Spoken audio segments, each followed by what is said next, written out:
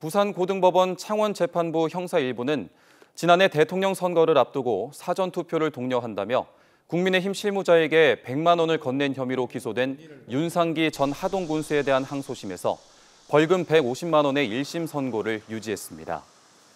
재판부는 정치자금 목적이 없었다는 윤 전 군수의 주장은 받아들이기 힘들다는 원심 선고가 적절하다며 항소를 기각했습니다.